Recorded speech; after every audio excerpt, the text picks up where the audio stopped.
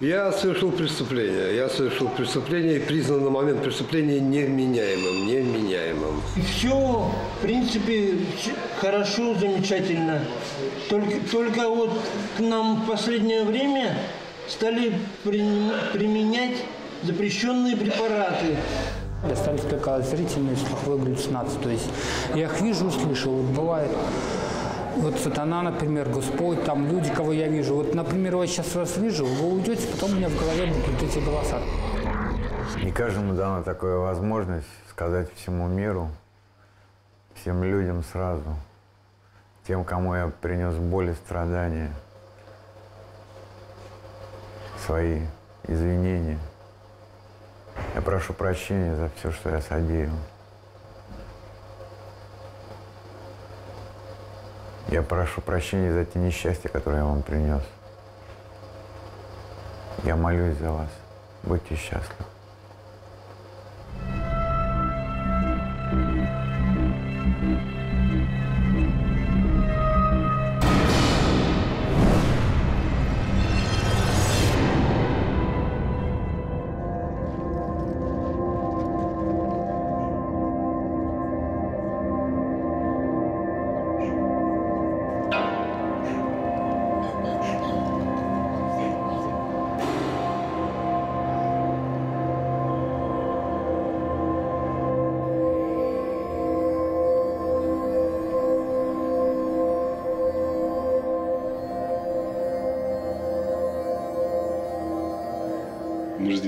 We're making art here, so let's take this color and make it a bit softer. Let's not make it so saccharine. It was beautiful, and it looked like you. I mean, your graphic work looks very confident, but there was no skull. And now this skull looks like a mask. When I first saw it, I was terrified, and at the same time impressed. My eyes are the only part of my face that's left in there. No, I mean, your proportions are still there. You got the proportions right.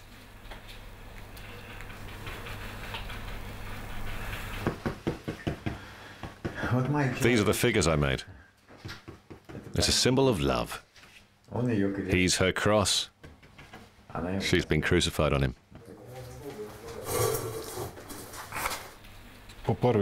Right, you need a couple more tones like this one here.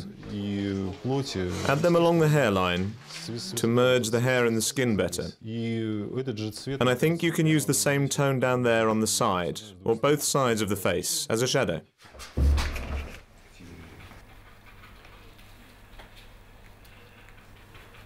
Anyone could end up in a situation where they become a criminal.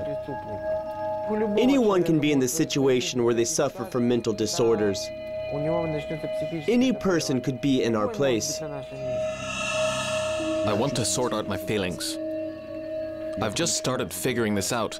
I want to really figure it all out, so this never happens and I never come back here again. I'd rather fight myself to the end. It's very difficult to talk to yourself. If I were able to go back to meet the person I was five years ago and explain anything to him, he wouldn't understand.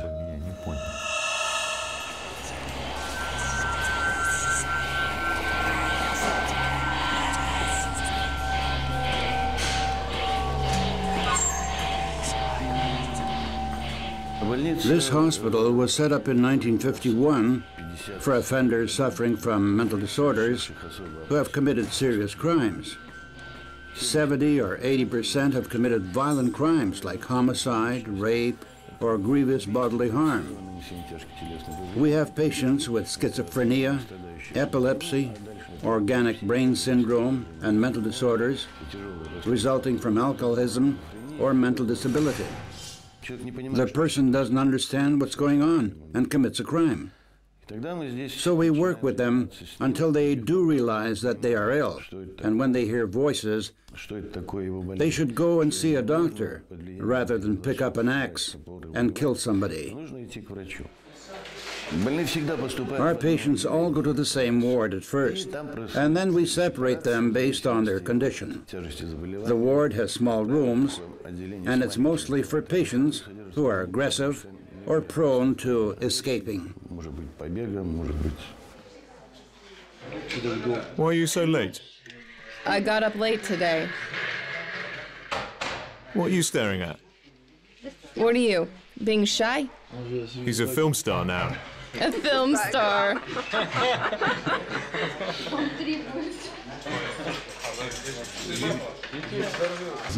I killed this guy called Maga.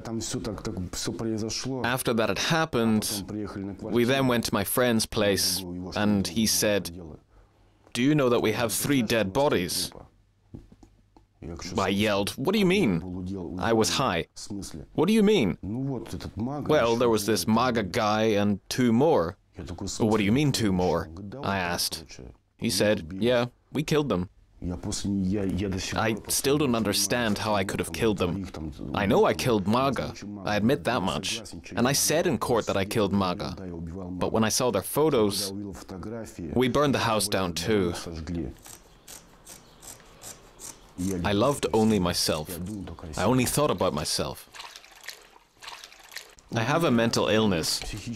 The treatment was serious. I couldn't stop my hands from shaking. They had to spoon feed me. Take my mom, for example. Imagine someone like me just breaking into her house and stab, stab, stab. They would lock him up, and he would just sit there on his bunk, carefree, and would even draw something. We can't change the past. I'm not saying I've totally changed and that I'm a good person now. It's only the beginning. I'm just now starting to smooth the edges. I'm starting to come out of this and see that I can actually achieve something. You know? And I will have to support my mom at some point. What can we achieve through art therapy? At least they can start drawing. This will help them analyze themselves a little bit and relax at the same time. They can be one on one with themselves and with their drawings. An emotion is like a battery. Without these batteries, our patients don't want to do anything. There are some who are already in a state where they just want to stay in bed and don't want to do anything. It's what their sickness did to them. There are some mentally retarded patients who learn how to live in the streets. And I think that if a person is suffering, he has to be helped.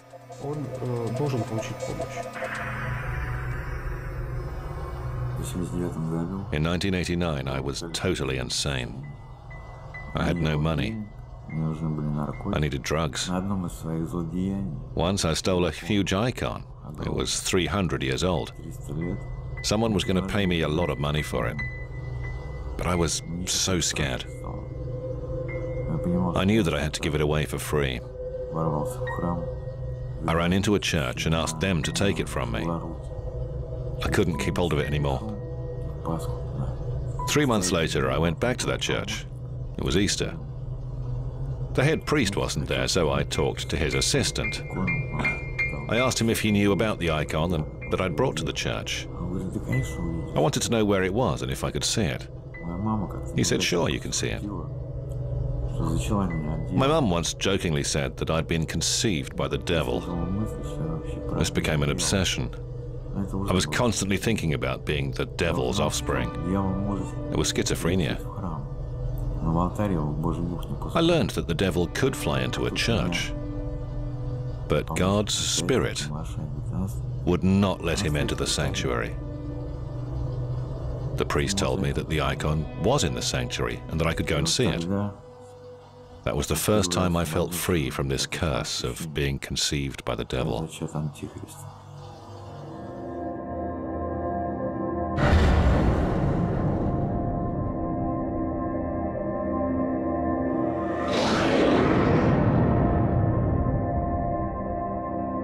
Как называть э, вообще how do we call mentally ill people?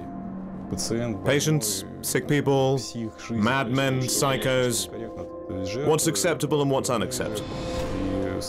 I try not to talk about their victims or relatives of their victims or their crime. I use the term problematic people. Yes, they're problematic mainly for themselves. And my final goal is to treat them humanely. I want them to realize they're human. How can you socialize? How can you be a normal person and consider yourself a normal person if nobody treats you like a normal person?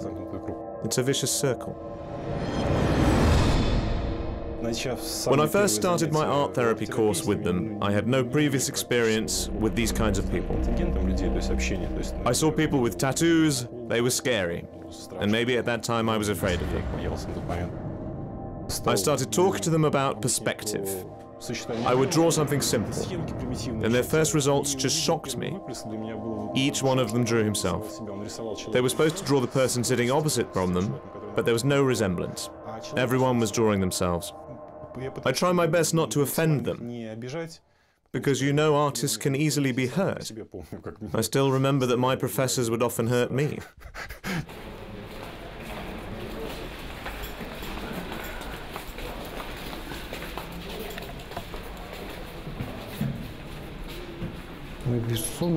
Of course, we understand that our patients are quite dangerous. How should our society treat them? Of course, we should be on alert.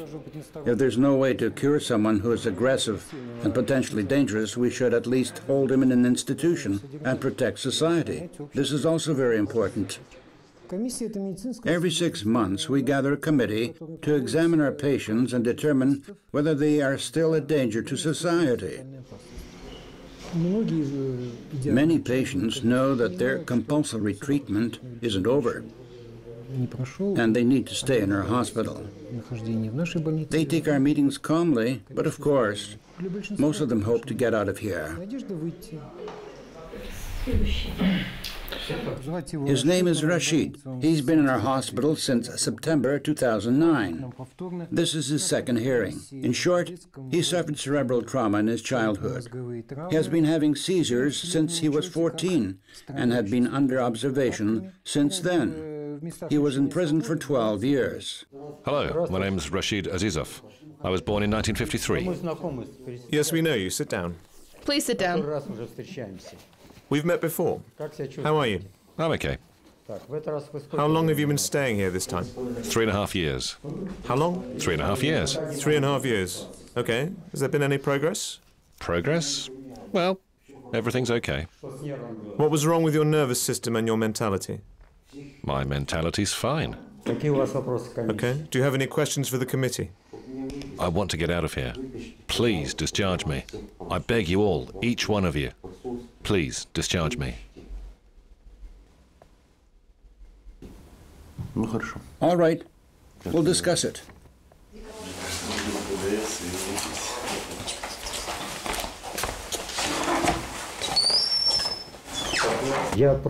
I'm against discharging him. He's not just mentally ill, he's a criminal. He's committed so many crimes rape, robbery, grievous bodily harm, larceny And he hasn't recognized his illness. He has no self criticism or self control.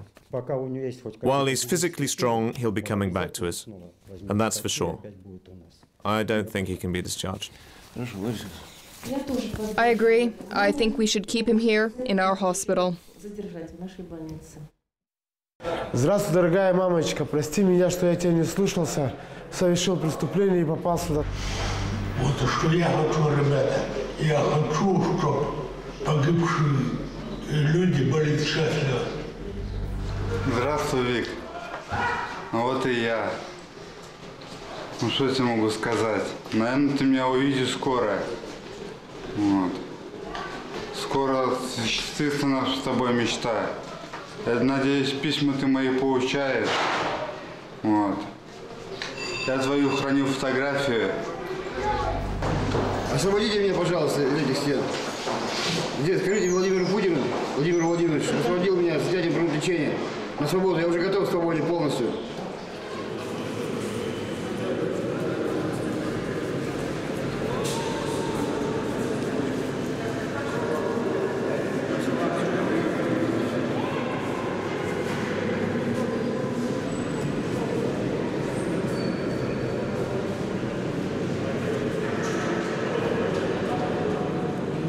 This is an open ward. All rooms are permanently unlocked. Smoking is only allowed in specially designated areas. Patients aren't allowed to keep any sharp items. Alcohol is forbidden. They're allowed to surf the internet, but only in the presence of a counselor or therapist. It's generally advisable not to tell them what they're not allowed to do. It's better to tell them what they can do.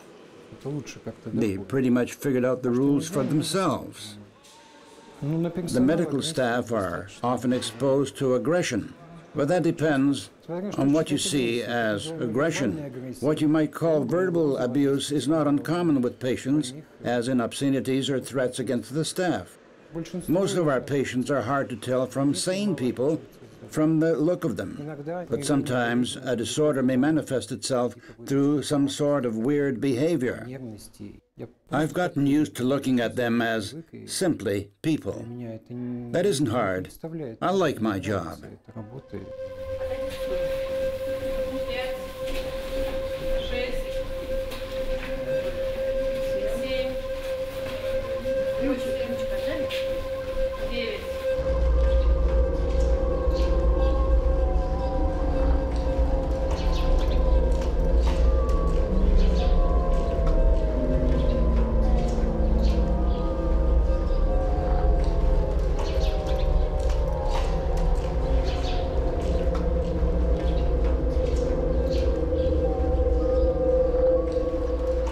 I've been here a pretty long time, since 2006. And one day, some three or four months ago, I'm walking down the street and I bump into a nurse from another ward. And she says, Hey, so you're still here? Many of your friends who checked in around the same time as you have long been discharged. And I tell her, No, I'm here for a long time. And I think to myself, I'm not ready. I'm not ready. I'm just beginning to understand. I don't want to just say, Mom, I'm sorry. I want to earn her forgiveness. I want to prove myself so that people will start telling my mom, Natasha, we are proud of your son. You understand? I want my former junkie friends to look at me and say, wow, that guy was one of us, but now he's moved on. He's accomplished something. We're allowed one phone call a month. I call my mom, and every time she sounds a bit different, a bit older. I'm shaking all over afterwards. Mom comes to visit me here, and I count every line on her face. I gave her those. I see myself in her. She looks at me affectionately, but there are tears in her eyes, and that's because of me. And so I absorb all of this as an artist. And I'm consumed by an inner struggle, the virtues and the vices battling inside me.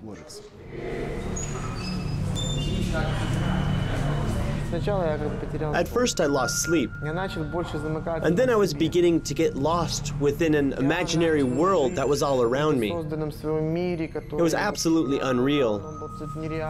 And there was no place in it for other people. I had a feeling of impunity, of my own significance and superiority to absolutely anyone, including people, nature, and society. Anything. My environment at the time certainly has something to do with it. I was generally pretty naive at that age. Somebody suggested to me once, Mikhail, you're such a genius. So why don't you try making drugs? And so I synthesized amphetamines at age 14. From then on, it was just a matter of knowledge, skill, and practice. I could produce practically any substance. Had almost no touch with reality, encapsulated within a world of my own. People meant nothing to me. There was just a sense of me. And so it happened that I committed four murders. Three of those cases were just junkies. I gave them a lethal injection while they thought that they were getting high. But the fourth one was violent. I stabbed someone. That's how high I was already. I mean, I thought I was high, but in reality, I was going down, sinking into the abyss. I was immersed in madness. And that was a scary, scary state of mind. You don't want to ever find yourself in such a realm of insanity. There's just the cold and the darkness. My mom sent me a photograph. She said they're having a silver anniversary with dad. So I started thinking of something to paint for them. I decided to paint a full length portrait of my parents on this canvas. So here's my head, this is my ear, and they're inside my head. My mom here is like a rose. This leaf here is my younger brother. I'm the elder brother, so I'm protecting our little sister. This is mom with the ring. My dad is the tulip. And this is me, a small creator in a dark world. And I want to create a colorful world for them. Mom likes everything I paint. You could paint her a black square and she'd just say, My son did this. Sometimes I feel like I have a grievance against the Creator. Even now, I ask him why. Why is it that I never had any love? Now I know where my disease comes from, same as my crimes, and my alcohol and drug addiction. It all springs from me not being loved, ever since I was a child. I made up a saying, and I know it sounds quite scary, basically, but there was a time when it overwhelmed me. It goes like this I love the world in general, and I hate everyone individually. That idea defined my life. I'm an anonymous alcoholic and an anonymous drug addict. I know what addiction is, but my illness feels greater than any of that. Drugs you have to find. Alcohol you have to drink. But that doesn't require anything. The world beams like a rainbow. You get a surge of energy. It gives you such a rush. You don't even need to take anything to get high. I'm beautiful myself. I can do anything. I admit that I'm sick. I acknowledge the gravity of my crimes.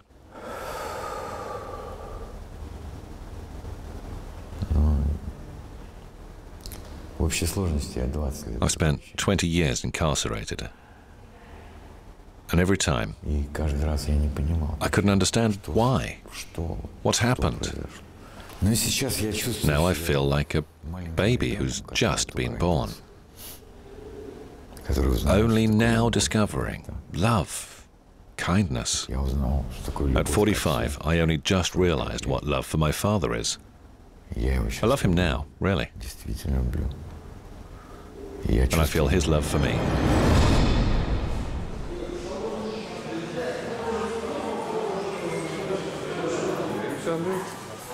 This patient comes across as an almost totally sane person, but he's a very good actor. We as psychiatrists can see that in fact he is very emotionally distant. His facial expression is immobile, although he speaks according to classic standards of literary language. But those who suffer from schizophrenia typically have no speaking disorder. In other words, schizophrenia implies a dissociated identity, a schism of the mind. But only someone who is very intelligent can become a schizophrenic. Please remember that all of these people receive treatment. But outside the hospital, as a rule, they're pretty much beyond any control. They don't take any medication prescribed to them at all, or stop taking them after some time. Hello.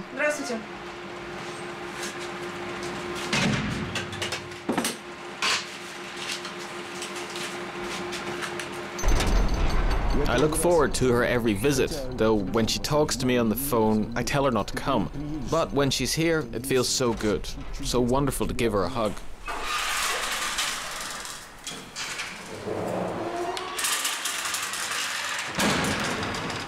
But when she leaves, the sadness, the pain starts again. You just drift around with nothing to do. It makes her sad as well. How long has she been coming here? She does everything just to be able to see me. But for how long will this last?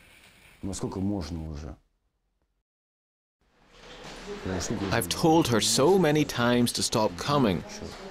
I'm upset that it takes her so long. In the past, she had to take the train to get here. Hello! My little boy. This is for you. Five roses, as there are five of us in the family.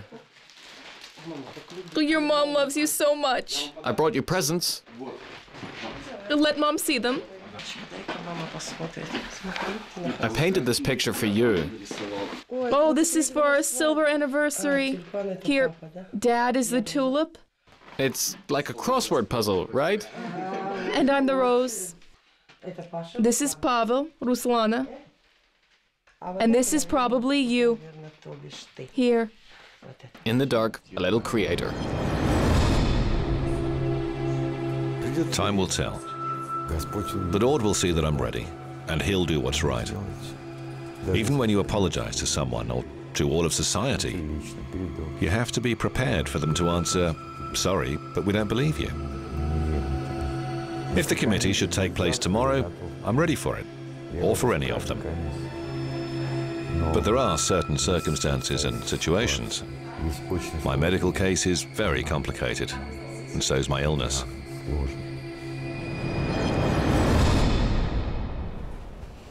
The most important committee is up there. Whatever he decides is what will be.